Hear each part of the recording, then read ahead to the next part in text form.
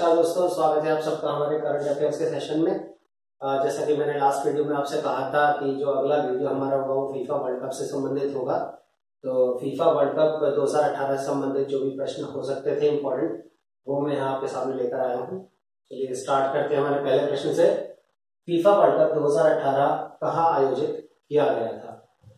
तो option A है Brazil option B है रूस ऑप्शन सी है हमारे पास अमेरिका तो जो हमारा ऑप्शन बी है, इसमें रूस, वो सही जवाब हो जाएगा। तो कहाँ आयोजित हुआ था? फीफा वर्ल्ड कप 2018 रूस में आयोजित हुआ था। अगला प्रश्न है हमारे पास। यह फीफा वर्ल्ड कप का कौन सा संस्करण था? ऑप्शन ए चौदवा ऑप्शन बी बीसवा, या फिर ऑप्शन सी इक्कीसवा? तो इसका सही जवाब है, ये इक्कीसवा संस्करण था।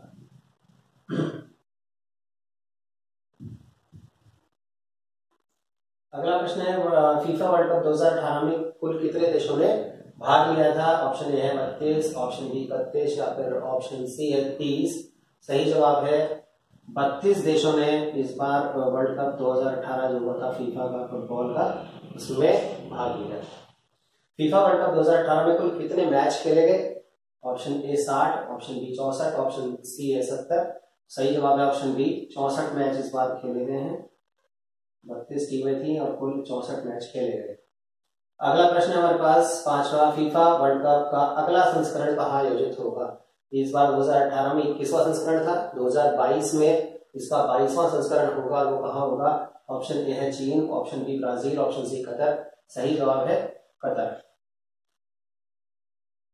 कतर में 2022 में जो है बाईसवा संस्करण होगा FIFA World Cup World Cup अगला प्रश्न है, प्रश्न नंबर छह फीफा वर्ल्ड कप 2018 की विजेता टीम कौन सी थी? Option A, Croatia, option B, France और ऑप्शन सी, हमारे पास ब्राज़ील। इसका सही जवाब है ऑप्शन बी, फ्रांस। जो फ्रांस है इस बार, उसने वर्ल्ड कप जीता था। जो फ्रांस के साथ फाइनल मैच हुआ था, उसमें क्रोएशिया की टीम थी। यानी जो क्रोएशिया है, वो उप विजेता रही है इस बार और फ्रांस विजेता टीम रही थी। फ्रांस ने दूसरी बार वर्ल्ड कप जीता है जो सबसे ज़्यादा बार वर्ल्ड कप जीता हुआ है फुटबॉल का, वो ब्राज़ील ने जीता हुआ है। चलिए, अगला प्रश्न है, प्रश्न नंबर सात फीफा वर्ल्ड कप में पहली बार हिस्सा लेने वाला देश कौन सा था? ऑप्शन ए है Papua New Guinea option B है आइसलैंड ऑप्शन सी है चीन। सही जवाब है इसका option B Iceland Papua New Guinea की टीम ने इस बार एक भी गोल नहीं किया है तो एक प्रश्न हो सकता है, किस टीम ने एक भी गोल नहीं किया था? आंसर हो गया पपुआ न्यूगिनी चलिए, प्रश्न नंबर आठ है विजेता टीम को पुरस्कार स्वरूप राशि प्राप्त हुई। कितनी राशि प्राप्त हुई? ऑप्शन ए है एक सौ इक्यानवे करोड़, ऑप्शन बी एक सौ नब्बे करोड़ और ऑप्शन सी है दो सौ साठ करोड़। तो इसका सही जवाब है विजेता टीम को जो पुरस्कार राशि मिली थी वो दो सौ साठ करोड़ मिली थी तो ऑप्शन सी सही हो जाएगा। और जो उप विजेता टीम रही थी, यानी क्रोएशिया की उसको एक सौ इक्यानवे करोड़ रुपए पुरस्कार के रूप में दिए गए थे। ये अगला प्रश्न है, गोल्डन बॉल किस खिलाड़ी को मिला? गोल्डन बॉल अवार्ड दिया जाता है वो किस खिलाड़ी को दिया गया है? Option A Harry Kane option B Mbappe option C है लुका मैट्रिक तो इसका सही जवाब है option C Luka Modric Luka Modric को गोल्डन बॉल का अवार्ड दिया गया था। ऑप्शन क्वेश्चन नंबर दस है हमारे पास। गोल्डन शू किस खिलाड़ी को प्राप्त हुआ? एक गोल्डन शू अवार्ड होता है। ऑप्शन ए है हमारे पास हेरिकेन ऑप्शन बी है Mbappe option C Luka Modric तो इसका सही जवाब है option A Harry Kane Harry Kane England team के कप्तान थे। तो हैरिकेन को गोल्डन शो अवार्ड प्राप्त हुआ है। अगला प्रश्न है, प्रश्न नंबर ग्यारह। फेयर प्ले अवार्ड किस टीम को दिया गया? ऑप्शन ए है Japan option B Spain option C Iceland सही जवाब है हमारे पास। ऑप्शन बी स्पेन की टीम को इस बार फेयर प्ले अवार्ड दिया गया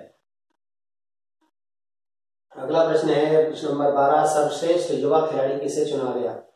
ऑप्शन ए गियारी इन्फेंटिनो या फिर ऑप्शन बी कालियान एम्बापे तो बता दूँ आपको कि ऑप्शन ए जो है ज्ञानी इन्फेंटिनो तो गियानी इन्फेंटिनो कोई खिलाड़ी नहीं है। वो फीफा के अध्यक्ष हैं इस वक्त। तो एक क्वेश्चन यहाँ पे भी हमारा क्लियर हो गया है कि फीफा 2018 में जो अध्यक्ष कौन है, फ़िलहाल फीफा के अध्यक्ष कौन है तो कौन है वो ज्ञानी इन्फेंटिनो है। और जो सही जवाब हो जाएगा इस प्रश्न का, सर्वश्रेष्ठ युवा खिलाड़ी किसे चुना गया वो ऑप्शन बी है, कालियन एम्बापे को चुना गया है सर्वश्रेष्ठ युवा खिलाड़ी। प्रश्न नंबर तेरह है, गोल्डन ग्लोब अवार्ड किसे दिया गया? Thibaut प्रोटियोस option B Mbappe option C Luka Modric सही जवाब है इसका ऑप्शन ए थिबॉट प्रोटियोस डिपॉट प्रोटियस को इस बार गोल्डन ग्लोब अवार्ड दिया गया। आखिरी प्रश्न है आज का। प्रश्न नंबर चौदह फीफा वर्ल्ड कप 2018 का आधिकारिक गाना था। ऑप्शन ए है, खुले दिल से खेलो। ऑप्शन बी है लिविट अप और ऑप्शन सी है, जाबी वाका। तो इसका जो सही जवाब है, पहले मैं वो बताया तो आपको ऑप्शन बी जो है इसका लिविट अप ये सही जवाब है। लिविट अप आधिकारिक गाना था फीफा वर्ल्ड कप 2018 में। खुले दिल से खेलो खेलो क्या था वो? आधिकारिक स्लोगन था इस बार का। जो स्लोगन था फीफा वर्ल्ड कप 2018 का वो क्या था? खुले दिल से खेलो। और जाबीवा का क्या था? जाबीवा का था, चश्मा पहने हुए भेड़िया की तस्वीर थी, जो कि शुभंकर था। चश्मा पहने हुआ भेड़िया, वो शुभंकर था इस बार। फीफा वर्ल्ड कप 2018 का। तो चौदवा प्रश्न है हमारा, वो एक तरह से एक नहीं, तीन प्रश्न हो गए कि आधिकारिक गाना था लिवेटक स्लोगन था, खुले दिल से खेलो, और शुभंकर था जाबीवा तो ये थे हमारे फीफा वर्ल्ड कप 2018 संबंधित प्रश्न। और ये काफ़ी इंपॉर्टेंट है इस क्योंकि फीफा वर्ल्ड कप अभी 2018 में ही हुआ है, और जितनी परीक्षाएँ आने वाली हैं, फ़िलहाल सब में करंट में, एक क्वेश्चन कम से कम इससे बनता है। अभी लास्ट जो 2018 का पीसीएस का प्री एग्ज़ाम हुआ था, वहाँ पे भी एक प्रश्न पूछा गया था कि फीफा वर्ल्ड कप 2018 में कितने देशों ने भाग लिया था, कितनी टीम थी? तो उसका सही जवाब छत्तीस था। यानी प्रश्न नंबर जो तीन है इस बार। 2018 के पीसीएस प्री एग्ज़ाम्स में भी पूछा गया था। तो एक ना एक क्वेश्चन इससे किसी भी फ़िलहाल में होने वाले एग्ज़ाम में आने की संभावना है तो ये काफ़ी इंपॉर्टेंट टॉपिक है। तो उम्मीद होगा कि आगे जो भी टेस्ट होगा, उसमें कोई भी क्वेश्चन अगर आता है तो वो इन क्वेश्चन से बाहर नहीं होगा फीफा वर्ल्ड कप से रिलेटेड अगर कोई क्वेश्चन होता है तो। तो आप लोग इसको अगर अच्छा लगा हो तो शेयर करना ना भूलें ताकि और लोगों को भी मदद मिल सके।